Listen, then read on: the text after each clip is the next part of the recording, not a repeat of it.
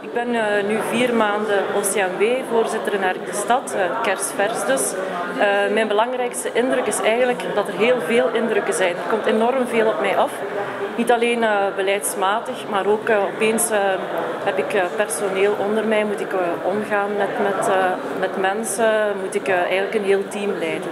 De VVSG kan ons zeker helpen als, als kerstvers, als nieuwe, nieuwe mensen, om ons eigenlijk op te leiden, om ons informatie te geven. Uh, ik moet zeggen, ik bel ook heel regelmatig uh, naar de VVSG. Ik ben daar al heel gekend, denk ik. En ik kan, krijg daar ook altijd heel goede informatie.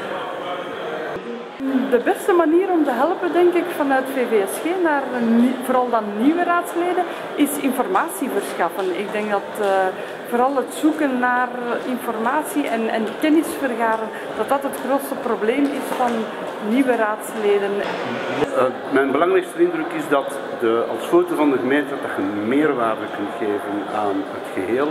Je bent eigenlijk een beetje een buffer tussen het schepencollege en de gemeenteraadsleden.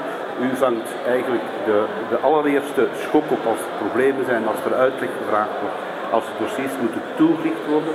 U vangt de eerste schok op, u, u, bepaalt ook het ritme van de vergadering, u bepaalt ook wie dat er aan het woord komt. En ik denk dat dat heel belangrijk is in het, in het geheel van een vergadering te leiden, is uh, vrij streng optreden uh, over de structuur van uw vergadering. Want eigenlijk, het is misschien niet mooi om te zeggen, maar u bent baas van uw vergadering. Uh, als de VVSG al die informatie kan bundelen en ons doorspelen.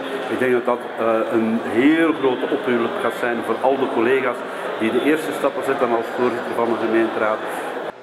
Ik ben wel oppositieraadslid, maar ook al stellen wij uh, zaken voor, dat heeft direct een impact op uw bewoners. En de, plannen die wij voorstellen worden ook opgepikt. Dus dat is voor mij een heel positief punt. Die, die burgernabijheid, het feit dat je echt dingen kan doen voor de gemeente. En langs de andere kant vind ik het ook heel interessant dat we nu voor heel veel vernieuwingen staan. Wat wil zeggen dat we zowel de meerderheid als de oppositie veel moeten leren. Dat we zelf nieuwe dingen moeten ontdekken en dat we daar stap voor stap naartoe kunnen werken.